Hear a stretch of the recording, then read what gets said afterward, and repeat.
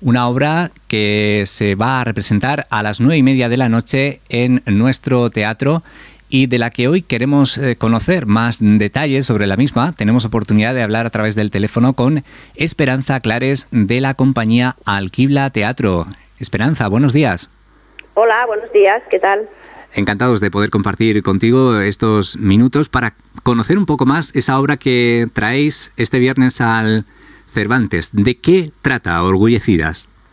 Bueno, pues Orgullecidas, que tengo que decir que este Alba Saura, no segura, no tiene importancia. Lo, lo corregimos, lo corregimos. Bueno, pues a mí me gusta decir que es una historia de mujeres, pero que no necesariamente para ser vista solo por mujeres, sino todo lo contrario, para ser vista por todos los públicos y además por hombres y por mujeres a la vez. Pues es una historia de tres mujeres que están en la cárcel, tres presas, que están por diferentes motivos, que no son justificables en absoluto, pero que sí son una, digamos, una revancha o una manera de, eh, una manera errónea, pero una manera de resolver las, los problemas con los que se han ido encontrando en la vida, los problemas de mm, eh, inseguridad, los problemas de infidelidad, los problemas de desprecio por, por, ser, eh, por ser mujeres, los problemas de no valorarlas, las situaciones que se han provocado por no valorar sus, sus trabajos, sus respectivos trabajos, sus cualidades, sus, sus capacidades, las han llevado ahí a la, a la cárcel para cumplir una condena que para ellas es suficientemente justificada porque porque bueno pues las circunstancias que la llevaron a ella eran para ellas mucho más graves que el hecho de estar pagando una condena y mientras están con esa condena pues deciden contar sus vidas y contar el por qué están allí y hacerlo a través de una obra de teatro en la que supuestamente participan todos los espectadores y espectadoras que son presos también de, de esa cárcel porque son los los compañeros y compañeras que van a verlas. Pues eso, vamos a conocer su historia con mucho humor, con su parte de tragedia también, porque las situaciones que lo han llevado a ello para cada una de ellas es son trágicas, pero todo está llevado con, está eh, envuelto en un extraordinario mm, eh, conjunto de gags y de, y de toques de, de humor, que es la mejor manera en la que se pueden tratar las cosas serias. Esperanza, ¿qué nos podrías comentar también de, las eh, actrices que ponen en escena esta obra Orgullecidas en Abarán?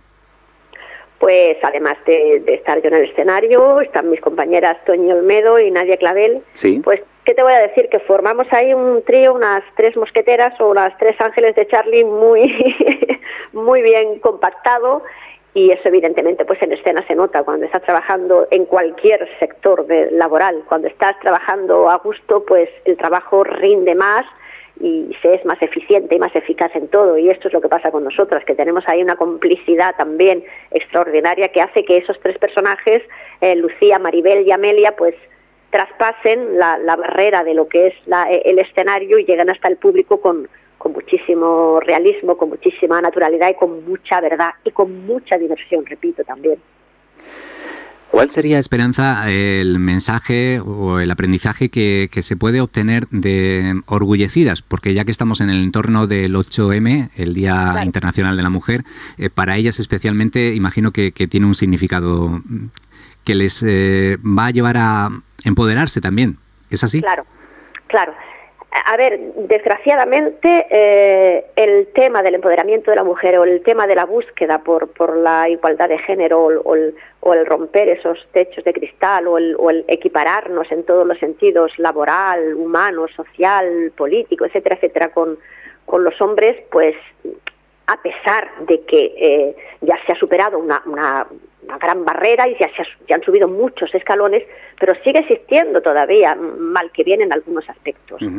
Eh, entonces, sin que tenga una pretensión extremadamente aleccionadora, porque eh, el teatro debe también dejarse un poco llevar por el juicio crítico de cada uno, expone fragmentos de vida o cada uno los recogemos y los analizamos y valoramos en qué medida los tenemos que tratar de una u otra manera. Y digo, sin, sin que sea una sin que exista una moraleja que pretenda ser extremadamente aleccionadora, porque no sería tampoco productivo, lo que sí pretendemos es al mostrar la vida de estas tres mujeres que se han visto de, una manera u otra denigradas, eh, el, incitar a que se tenga la capacidad de rebelarse contra esas situaciones eh, injustas.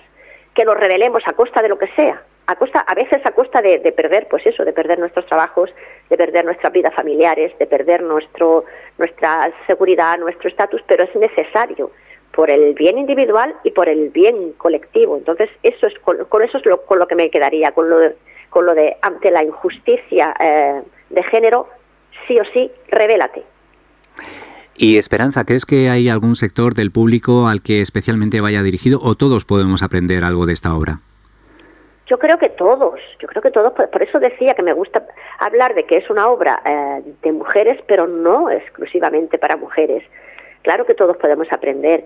Claro que la mayoría, quiero pensar, que la infinita mayoría de los hombres eh, están absolutamente de acuerdo con que todas estas brechas eh, de diferenciación de género se, se, rompan definitivamente, sin lugar a dudas, o al menos quiero pensar que cada vez más, pero quizá todavía eh, existan y, de hecho existen quienes no piensen así y de alguna manera que este texto les, sirva para decir, a ver, estamos valorando personas, no géneros, estamos valorando capacidades, cualidades,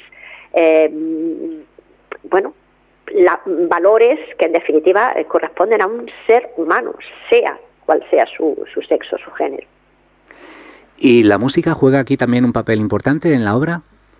Pues sí, la música acompaña muy bien porque casi todo el tiempo está envuelta en, en, son cubano, que tiene pues como ese, ese punto tan agradable para escuchar, para bailar, pero que a la misma vez te puede acompañar en los momentos cómicos te puede acompañar muy bien, pero que también te puede te acompaña con esa suavidad, con ese vaivén sinuoso que tiene el son cubano en, los momentos de nostalgia o en los momentos de, tristeza o incluso en los momentos de tragedia. Es una música que, encaja muy bien en, cada una de las partes en las que en las que nos podemos encontrar en cada momento en, la historia de, este, de estas orgullecidas. Seguro que lo pasamos muy bien y disfrutamos con esta representación de Alquibla Teatro. Recordamos una obra de Alba Saura que podremos ver eh, sobre las tablas del Teatro Cervantes de Abarán.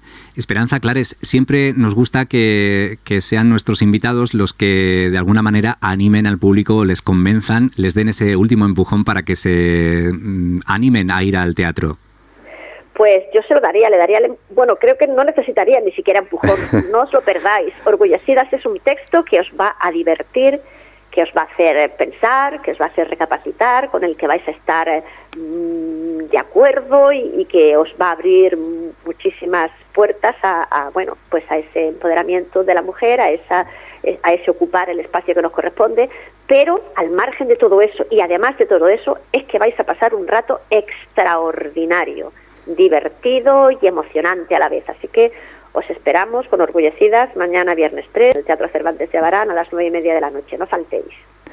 Esperanza Clares, eh, muchas gracias por haber estado hoy con nosotros y esperamos eh, disfrutar mucho y que también vosotras os llevéis un buen recuerdo de vuestro paso por Abarán. Eso segurísimo. Muchísimas gracias siempre a vosotros. Hasta otra. Buenos días. Chao, buenos días.